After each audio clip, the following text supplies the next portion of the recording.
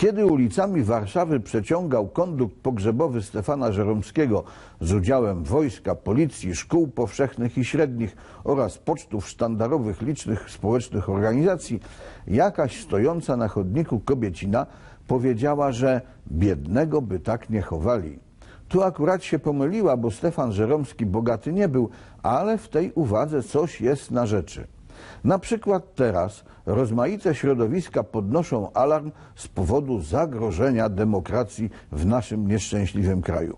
Wśród bijących na alarm są również tak zwani byli ludzie, jak na przykład pan Włodzimierz Cimoszewicz z porządnej ubeckiej rodziny, którzy za pierwszej komuny jako członkowie Polskiej Zjednoczonej Partii Robotniczej nie tylko uczestniczyli w tłumieniu demokracji, ale w dodatku na wdeptywaniu w ziemię wszystkich walczących z totalniactwem zbijali polityczne i nie tylko polityczne kapitały.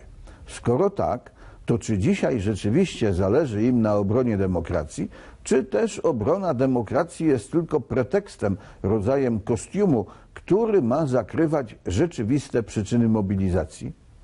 Pomijam już konfidentów, których przecież w naszym nieszczęśliwym kraju nie brakuje, bo ci mobilizują się na rozkaz oficerów prowadzących, jak nie z tej, to z innej bezpieczniackiej watachy. Jednak w obronę demokracji włączają się nie tylko konfidenci, chociaż kto ich tam wie, ale również, a może nawet przede wszystkim, ludzie będący pieszczochami reżimu na poprzednim etapie. Zwłaszcza w przypadku tych ostatnich nasuwają się podejrzenia, czy rzeczywiście zależy im na obronie demokracji, czy też raczej dają upust irytacji z obawy utraty sutych alimentów, do których zdążyli się już przyzwyczaić, bo człowiek bardzo łatwo przyzwyczaja się do dobrego. Weźmy na przykład niezależne media głównego nurtu. Zatrudnieni tam funkcjonariusze są o stan demokracji w naszym nieszczęśliwym kraju najboleśniej zatroskani i na każdym kroku dają temu wyraz.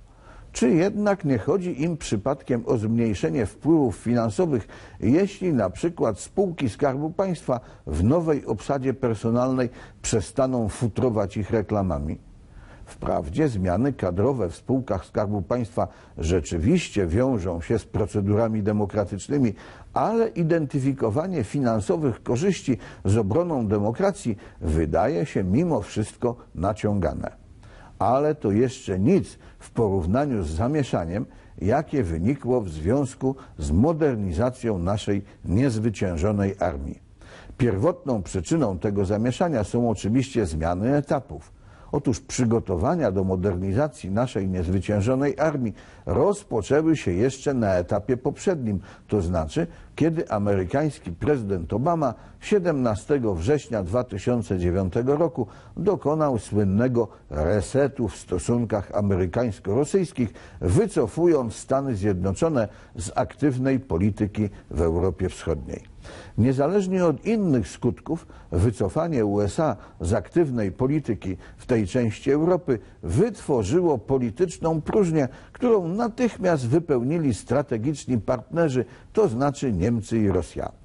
Przygotowania do modernizacji naszej niezwyciężonej armii rozpoczęły się akurat wtedy, więc nic dziwnego, że wszystkim wydawało się, iż przy planowaniu przetargów należy brać pod uwagę interesy niemieckie czy francuskie, tym bardziej, że taka spostrzegawczość mogła być nie tylko zauważona, ale nawet wynagrodzona ale w połowie roku 2013 prezydent Obama swój poprzedni reset zresetował. Stany Zjednoczone wróciły do aktywnej polityki w Europie Wschodniej.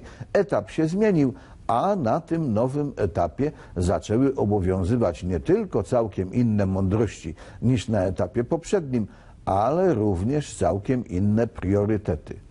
Obecność u steru koalicji Platformy Obywatelskiej i Polskiego Stronnictwa Ludowego do czasu trochę sytuację łagodziła, ale kiedy rządy objęła inna ekipa, która nie czuje się związana siuchtami poprzedniego etapu, sytuacja stała się nieprzyjemna. Wyobraźmy sobie tylko, że ktoś za obietnicę pilotowania francuskiego śmigłowca wziął pieniądze, a tu nowa ekipa powiada, że cały pogrzeb na nic. Na dobrą sprawę trzeba by zwrócić forsę, ale jakże tu ją zwrócić, skoro już została wydana? W tej sytuacji nie ma innej rady, jak do upadłego bronić demokracji przed podnoszącym głowę faszyzmem. Więc nic dziwnego, że szeregi obrońców demokracji rosną niczym młode kadry Związku Kombatantów, a pan Tomasz Siemoniak daje do zrozumienia, że wybory mogą odbyć się wcześniej niż nam się wydaje. Obrońcy demokracji, chętnie drapują się w płaszcz Konrada, ale cóż z tego, skoro po, spod płaszcza wystają znajome ubeckie cholewy.